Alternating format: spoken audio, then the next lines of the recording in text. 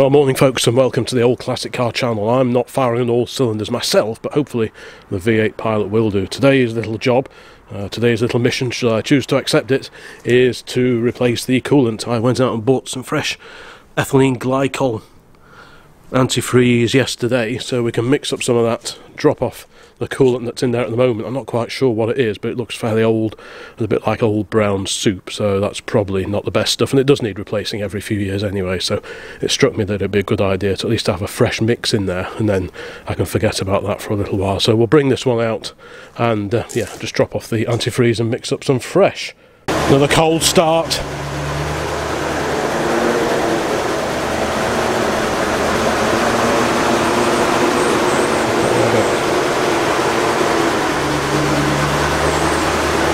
Be nice to see it outside.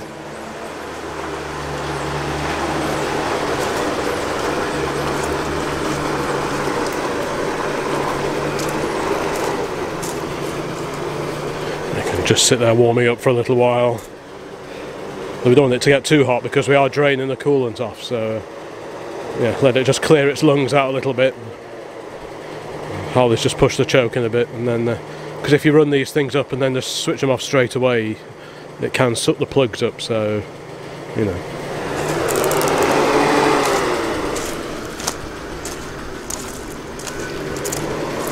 those two American V8 engines there big 5.7 Hemi in the Jeep and a 3.6 flathead in the V8 Pilot yeah, it started alright didn't it? No, it's a bit down, but I've got some fuel in the jerry can, so... Is that the choke fully in now? Yeah. Yeah, it's pretty good, isn't it? Obviously, we've not had it on any long runs since throwing away the electronic ignition and the replacement carb. The other carb is on the shelf, so I could always refit that at some point.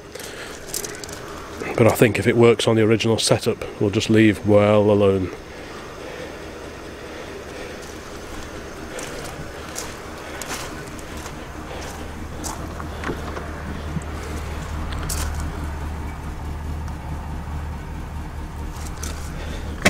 What have we got?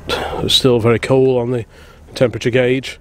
Fuel gauge is funny in that it reads that way, so it's full when it's to the left and empty to the right. So at first glance you think, oh, it's three quarters full, but actually no, it's under a quarter full. So that's something to bear in mind with one of these old girls.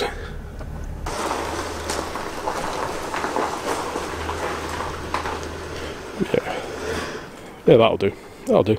At least we can drain the coolant off now without it getting too warm and uh, see exactly what it's like. Like I say, it looked a little bit like old soup when I had a peer in the radiator the other day, so I don't think we'll do any harm at all by replacing it with fresh. It's not a pressurised system in these, so anyone that's got a sit up and beg Ford, Pop or Anglia will recognise these lovely brass caps, I'm sure.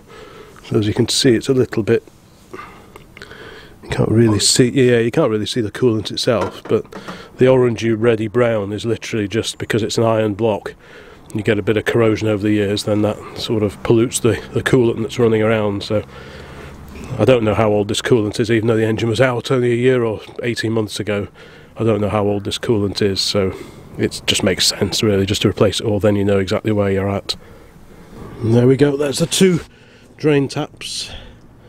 One there, and the other over there. Harley's just moving the MX5, which you can just see over there. He's going to give that a wash prior to tomorrow's little gathering. My priority today is to get this drained off. So you've got two drain taps. So I think we're going to need need to find some old containers to drain this off into. It takes about just 21 or just under 22 litres of coolant and all. So we'll have to mix some up.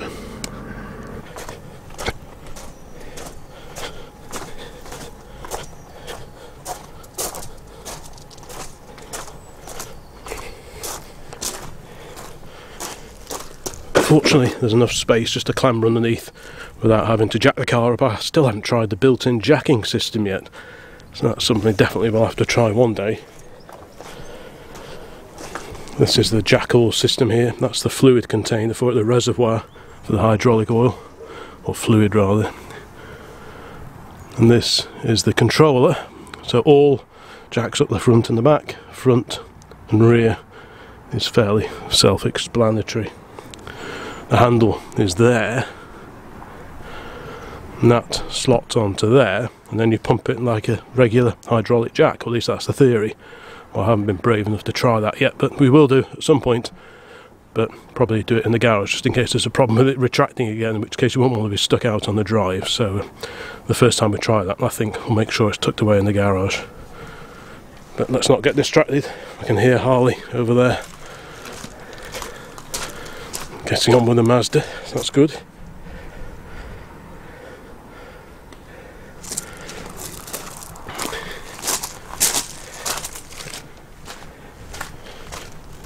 Right here, let's clamber underneath again. I'm used to clambering under here with uh, working on that distributor recently, but this time for a very different reason.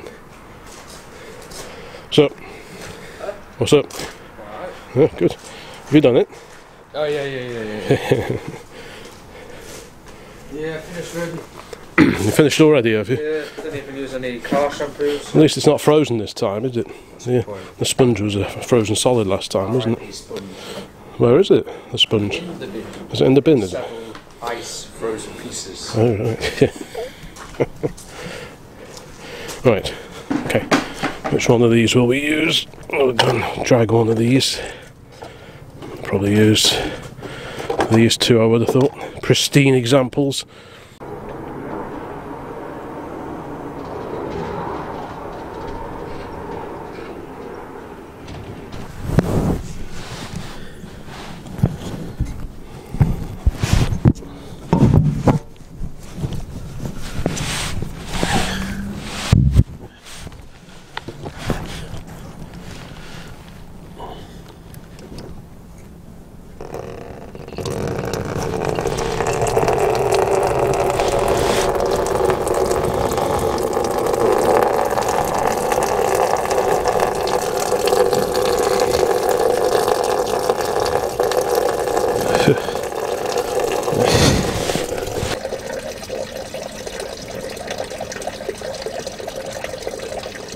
Definitely one of the things I like about older cars compared to those of the 60s and 1970s is that you've got proper drain taps on the radiators.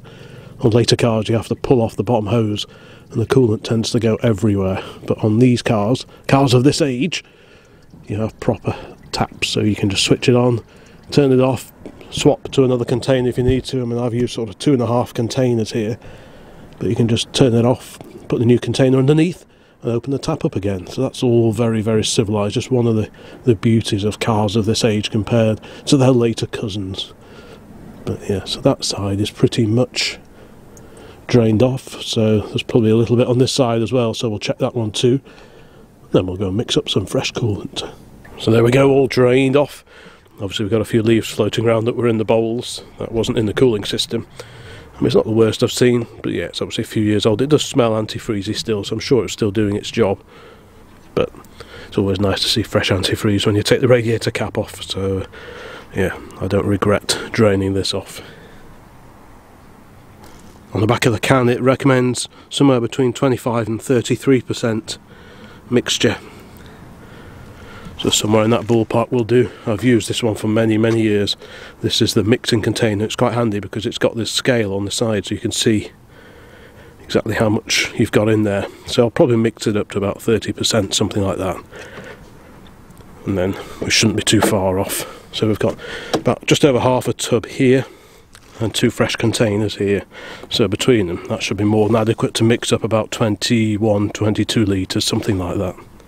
So that's about two litres of the neat concentrated antifreeze in there, and then we'll just mix that up with water, and we'll get a mix that's around 30 odd percent, somewhere like that. In the water, but here we've got plenty of fresh water, so we'll use we'll use some of that. I can just about get the container under the tap there, so that'll do the trick just nicely.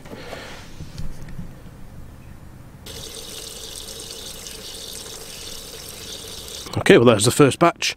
Uh, I'm not quite sure what percentage that works out at, but if it's two litres of neat antifreeze and about five litres topped up to, so that's two plus three, so I'm guessing what 40 odd percent, something like that, so that should be more than enough for the old Ford V8. There we go. At least this is one of the benefits of all the rain we've had lately, is that you've got lots of fresh rain rainwater to mix the antifreeze into. The filler is nice and high, so we shouldn't have to burp it through too much because if the filler is level with the rest of the engine, sometimes you have to raise the front of the car up just to, to burp it through to get any airlocks out. But as the top of the radiator is so much higher than everything else, we shouldn't have any problems in that regard. So we'll just top it up gently, run it with the cap off for a little while, just burp it through on the two top hoses, and then see where we go from there. Okay, well that's three lots of five litres added in, and we can see it now. We probably can't see it, but it's it's just in there now. So I can just about see it myself. So what we'll do now We've mixed up another batch. Like I say, it takes about 21 litres, give or take. And obviously, you don't when you drain it, you don't always get everything out. I think what we'll do now is fire it up, and then once it's warm, the thermostats will open and all the coolant is running through the engine and the radiator. Because obviously, when you start it up first thing from cold, the water doesn't get into the radiator until it's warmed up and the thermostat's open, and then the water starts coming up here of these pipes into the rad, down, cooling, and then back into the engine. So we need to get it warmed up properly, and then we'll monitor the level. It's not a pressurized system, it's not got a pressure cap on it, so we're okay watching it warm up with that off. And then we'll just add it, to, top it up as we need to.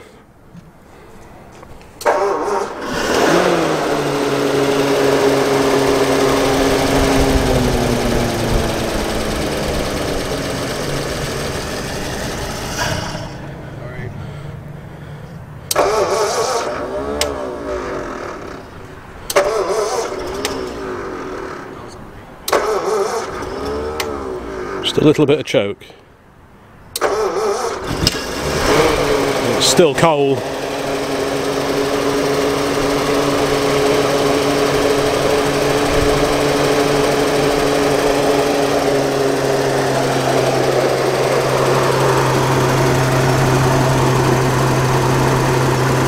I'm beginning to wonder if there are no thermostats in here.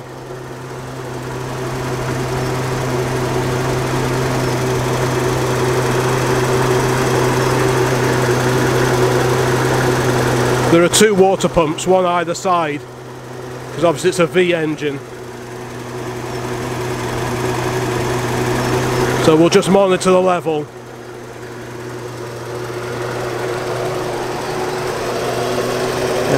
Just push it in a little bit just to slow it down. Yeah, I know it's cold, but just try and get it as little choke as possible. The fact that the water's frothing already in the radiator suggests that maybe there are no thermostats in here, unless I've got my thinking wrong somewhere.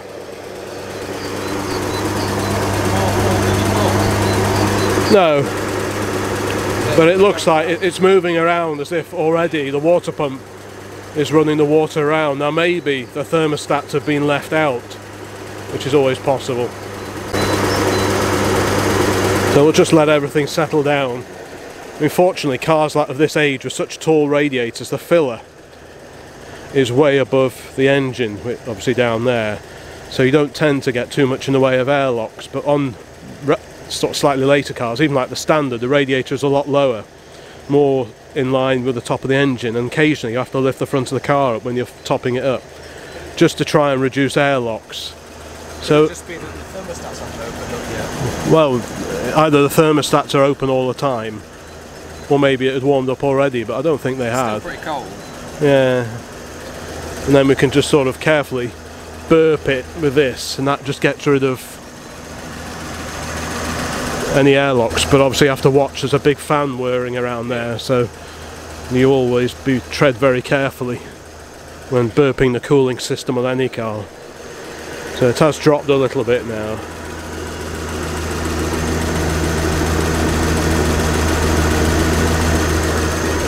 Just try burping the other side because obviously you've got it being a V engine you've got coolant down this side and coolant channels and whatnot down that side as well so just give them a good squeeze and it helps burp everything through yeah she's sounding pretty sweet It's a choke in, is it now? Yeah. So we'll just let it warm up.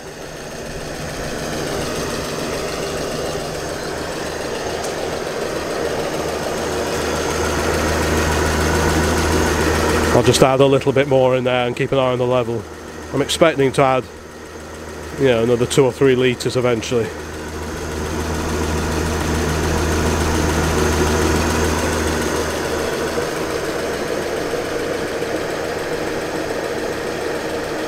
Of course, this is when you find out if you've got any water leaks in the cooling system compared to water, just plain water. When you've got a, an antifreeze mix, the more antifreeze, the higher percentage of antifreeze you've got in your coolant mix, the more likely it is to reveal any leaks in the system.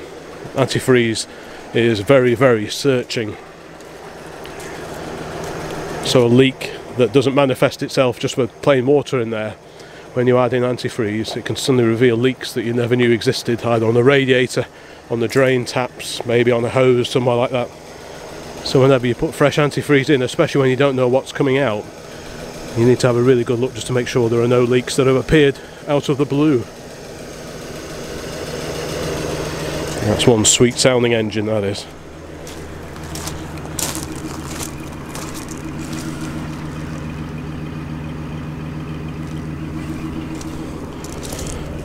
This is very much an older restoration. It's not perfect by any means on the paint and so on, it's just very, very presentable. A lovely looking car, I think. Obviously, at the time they came out, I think they were seen as being a bit out of date. Very similar in many ways, like that Austin 16 that we saw at the Jolly Thresher and also at the Black Swan on New Year's Day. When they came out, they were just a bit of an interim model until new cars could be put into production. This was based very much on the mid 1930s Ford Model 62. Got a different front on the Pilot, just to sort of modernise it a little bit. And I think back in the day they were also criticised just for looking a bit too much like a prefect. So even though it's a much more expensive car, the Pilot, at first glance to the uninitiated, they might just be looking at a V8 Pilot, and that may not have done its sales chances any good at all. Really, they didn't sell a huge number of these between 1947 and 1951 when they went out of production. It was really just a stopgap until such time as the Mark 1 era of Ford Zodiac and the Zephyr came into being. Of course, they were straight six cars, the Zephyr and the Zodiac, and you had the four cylinder Consul as well. So the V8 went out with the V8 Pilot.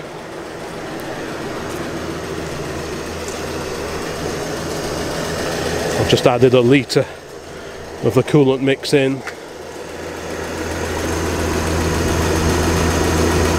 Of course, when it gets warm, it expands, then you've got this overflow drain pipe. So if the coolant expands too much, the excess goes down there and just drops down below the front of the engine.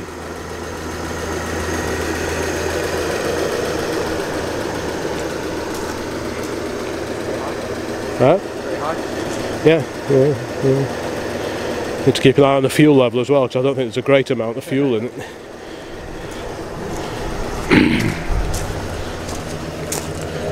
It shows about a quarter, doesn't it? But obviously we don't know quite how accurate that is. You never rely on the fuel gauge being super accurate.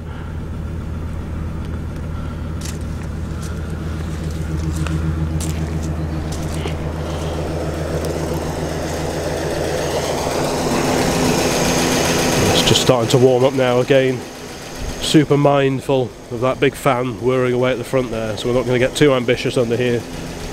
But as you squeeze that, it usually affects the level in there.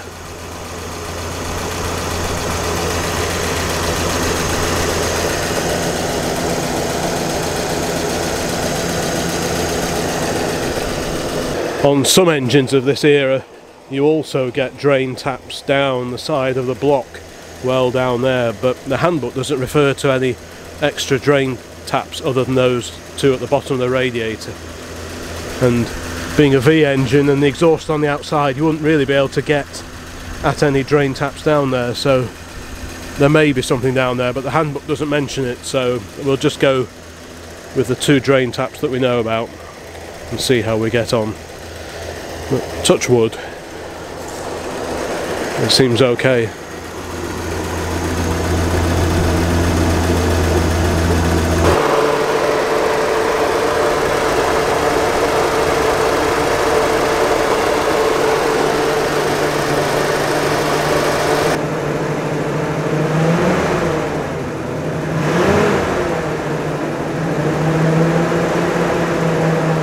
So it's had about 16 litres, that's how much it's taken.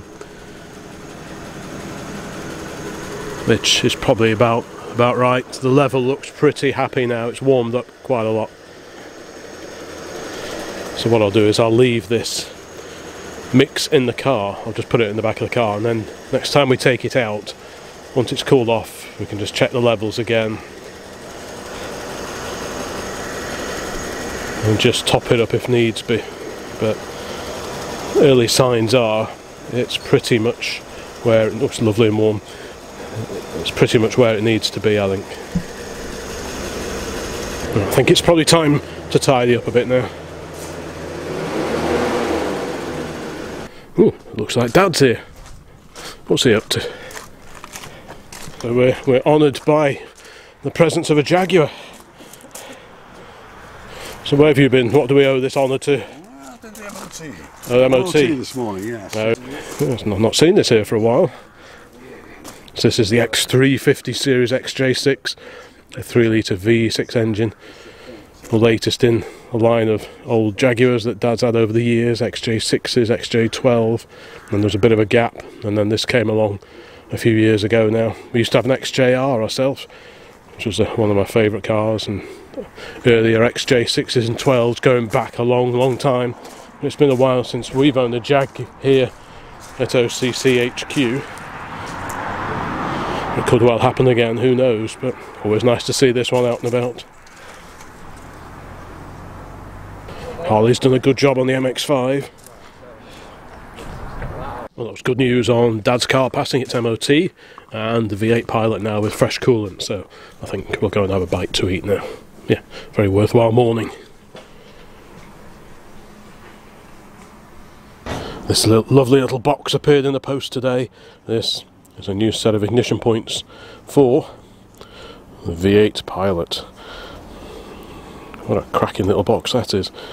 But yeah, new old stock parts, that's always good. So the plan is to get hold of another distributor at some point and assemble up a spare complete working Dizzy and that can be kept as a spare with the car so that if there are any problems while we're out and about with the distributor that I put on recently then I can just swap it out sort of 20 minutes 30 minutes under the front of the car and we can swap it out fairly easily so that's the idea with this get another Dizzy build it up with some good new old stock parts and just keep it as a spare just in case we ever need it you may have noticed that the tractor is over here. Well, we moved it from near Ned the shed a few weeks ago prior to uh, Harley's uh, shed number two arriving, Fred the shed. Uh, so I think this can probably go back now. It does need a wash, so I might give it a bit of a rinse down. It has been a bit damp lately, the weather. But yeah, if that's back over somewhere over there, then it will free up the space on the drive here, which is a good thing. Let's give it a quick wash, eh? Right, we've actually rolled it over, we didn't bother towing it. Yeah, just look. Hey? Just move, just get more of the hose out then. Yeah, I know, but it's, not that big a deal, is it? The trick is to give it a wash. Surprising how green it's gone. We washed it not that long ago, but the weather has been so wet recently that, yeah. Give it a bit of a sprucing up. You're doing a grand job.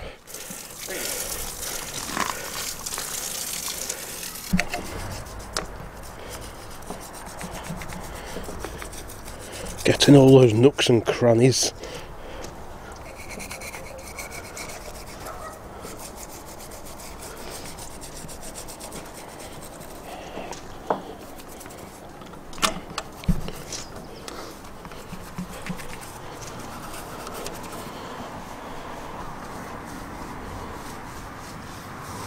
Well, there we go. That's looking a little bit, little bit cleaner, and it's back in its home.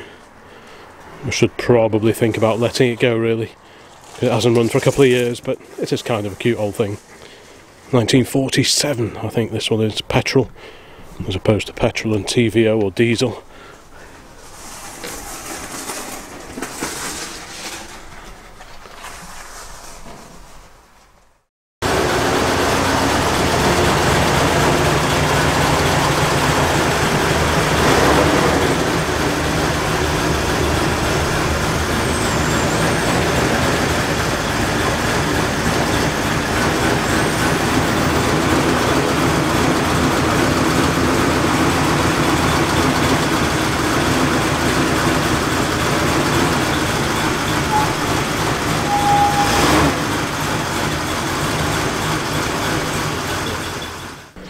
It's the next morning, folks, and the pilot is out and ready, hopefully prepped for a little run out to this breakfast meeting. We've already had it warming up. The MX5 is fired up behind, ready to follow us over. So, fingers crossed, we'll have an interesting morning over at Hopley House.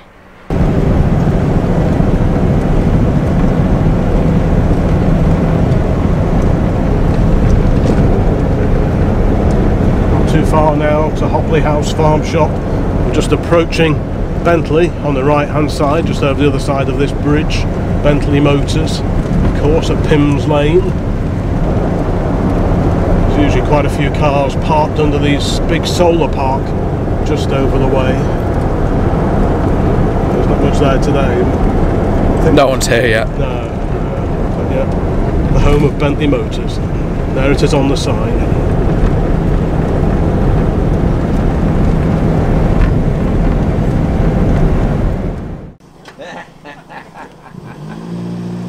Mind if we take a few pictures, guys? Is that alright? Well, part one of today's test drive in the V8 Pilot has been completed and it burbled along very smoothly indeed. Just occasionally on the load, if you gave it a bit of a, jab on the throttle, you get a little cough and then it would just pick up. So maybe there's a bit of further refinement to do on the carburetor settings, but given that I haven't actually touched the carburetor settings since I fitted this uh, carburetor, I can't complain too much, but no, she rolled along very happily indeed, which was uh, great. It's a slightly chilly morning today here at Hopley House, but yeah, just a perfect opportunity to give it a bit of a test run.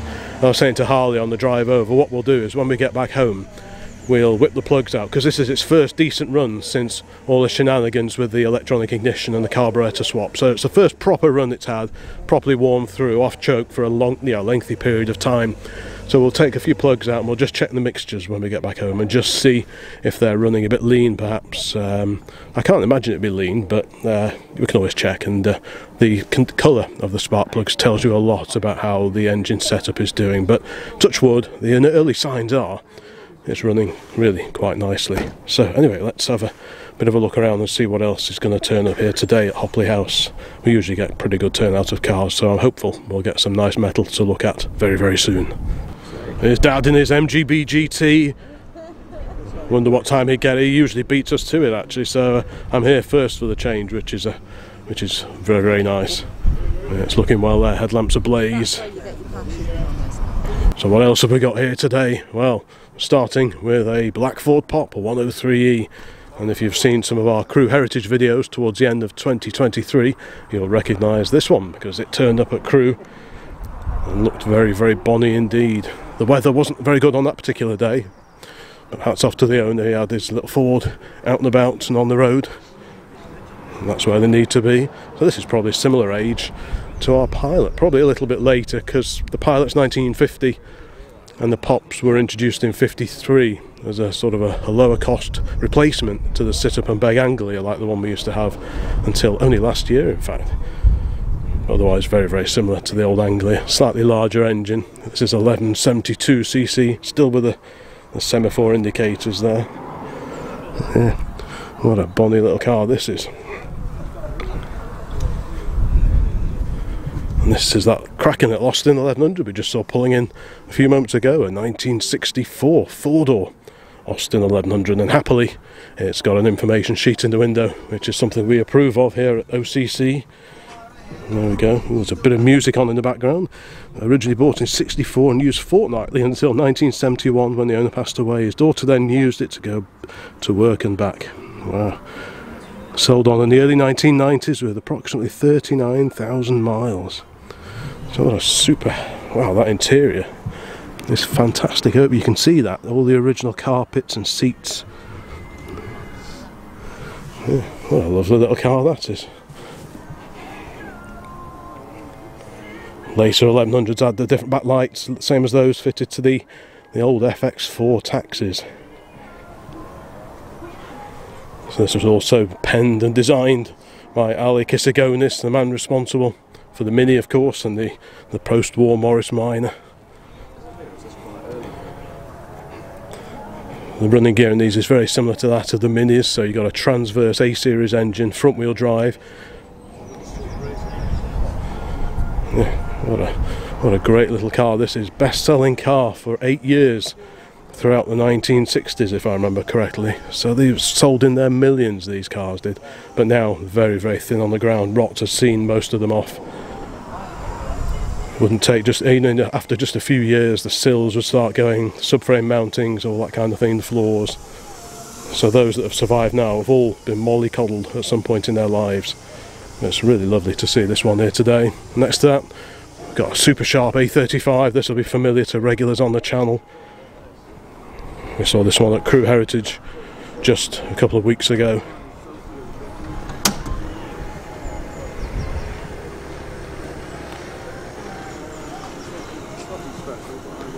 Capri Laser, super clean example of the Ford Capri, the car you always promised yourself, they said when they first came out with the Mark 1s.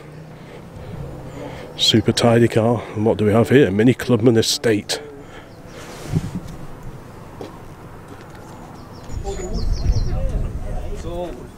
We can have a peer inside now. Super, super original car, this one. Wow. So, what's the mileage on this then? What's the mileage? Do you- I put it back to zero when I built it. You, re- you rebuilt it, did you? So, have you? Was it pretty bad when you found it?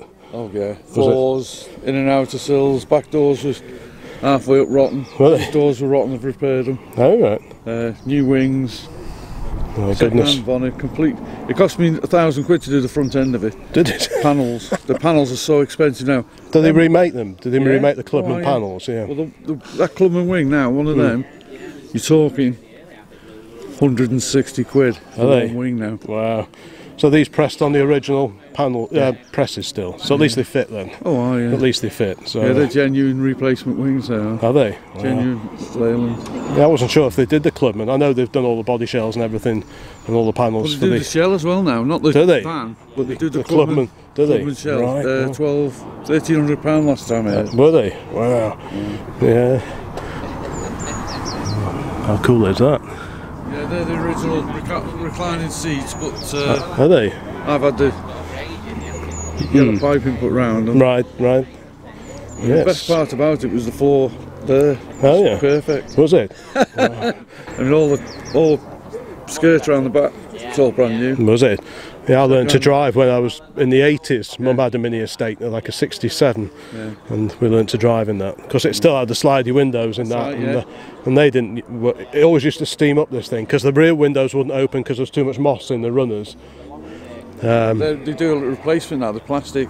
oh, do they? Still, you still got a bit of algae in. And you got a nice old uh, roof rack on this one as well, haven't you? The wood's, uh, it's got wooden slats to go. Oh, with does it? Right, right. I haven't done the wooden Yeah, slats. I, I like a nice roof rack. Whistles a bit when you go on. Yeah, it's a super. Oh, what's the name of it? 1275. 1275 is it? Ooh, so it bobs along quite well then. Yeah, you got to remember you're on drum brakes. Saab Cabriolet here. Trusty MGB. Ooh, bit of a photo call here.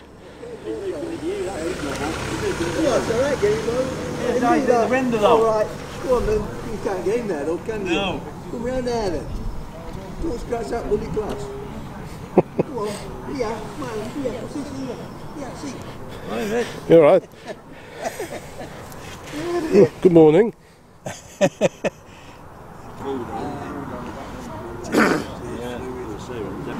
What engine in this then?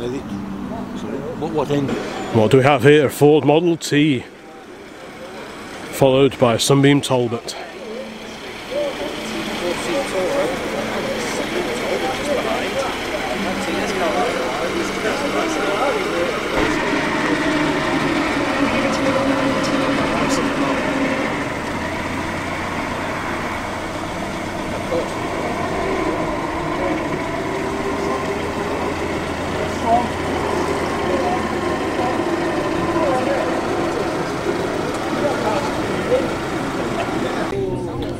TVR Cerbera taking it easy over the bumps.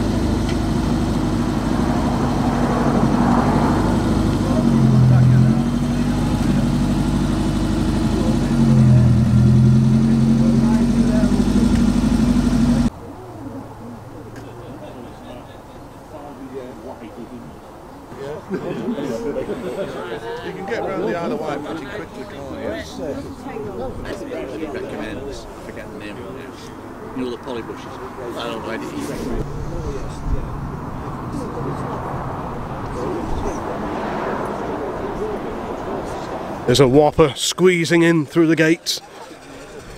So what do we have here? The mighty Chrysler, late 1950s. Look how straight that is down the side. What a beast.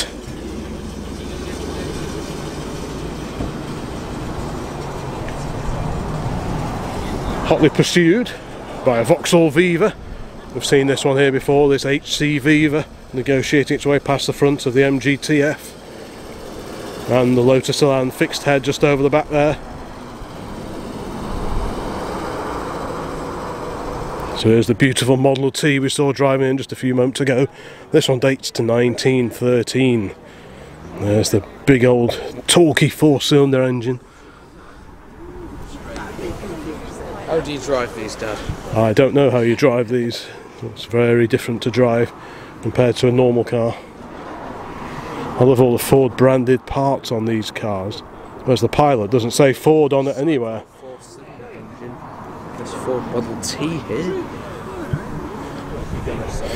What a Bobby Dazzler that is.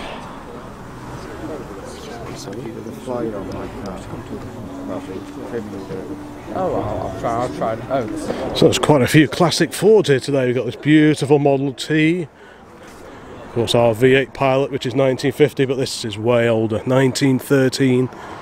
And there's the Ford Pop 103E and the Lotus Cortina. So yeah, classic Fords of many different decades. There's a Lotus Elise in the old gold leaf racing colours.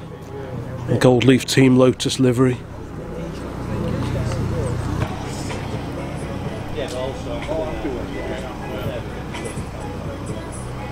There's that incredible Chrysler. What a stunning car this is. And just look down the side.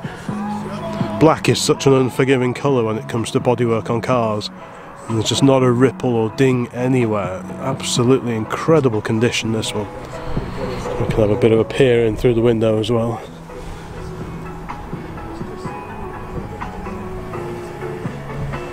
Not a huge amount of leg room in the back. But I guess the idea is that you don't go in the back. But yeah.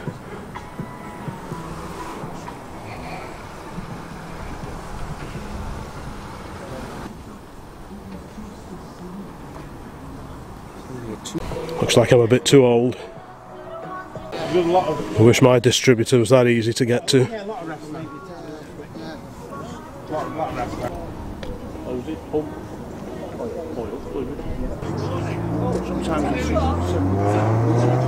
A cracking little Mini that just pulled in a few minutes ago. Um, Mini Mayfair, about 1989, I think this one.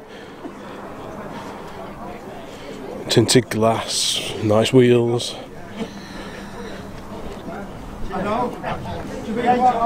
It's actually quite a good turnout here today.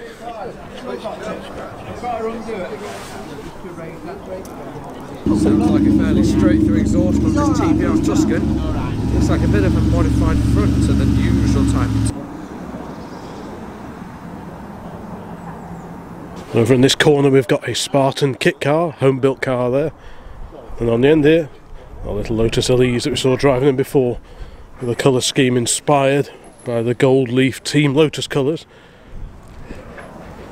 Yeah. Great little cars these are. And the wheels on this Spartan, I think they are off one of the upper market Cortinas, the Mark IV or the Mark V Cortina. And the back lights are from a Series 1 or Series 2 XJ. The Jaguar XJ6, that's what they originated from. And the mighty Chrysler has just fired up, the mighty Chrysler 300.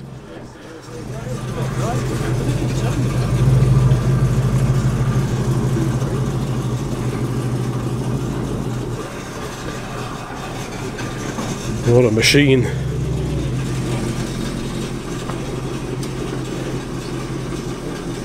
Need to get a bit of a swing at it. Yeah, so you booked onto any of the. Uh, No, I, I haven't, uh, I haven't, but I'll, I'll have to ring you to see whether what.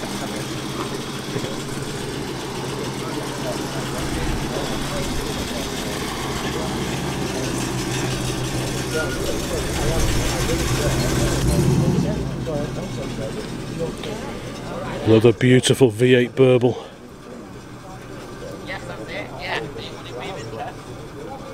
Well, I think we've seen pretty much all the cars that are going to turn up here today, so it's been quite an interesting little meet, really. We'll fire up the pilot and head back home.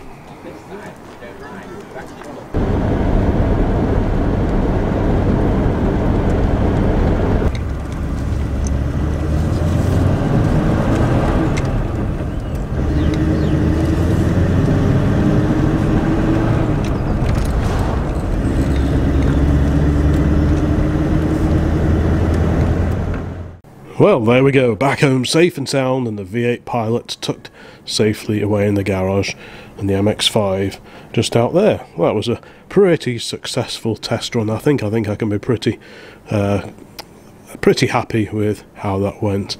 It seems to drive really nicely and sounds really good. It started instantly this morning, which was uh, just such a revelation compared to how it was when we first bought it. Occasionally, if I'm being extremely picky, occasionally you can just get a, a slight hesitation and then it pulls away. But most of the time, it just pulls away very cleanly. Even in top gear, going round fairly tight mini roundabouts, you can just leave it in top gear and let the speed drop right off. Leave it in top gear and it'll just pull away. The torque just pulls you round and off up the road really, really happily. So I think it's probably 95% there. May just be the odd tweak to do on the carburetor.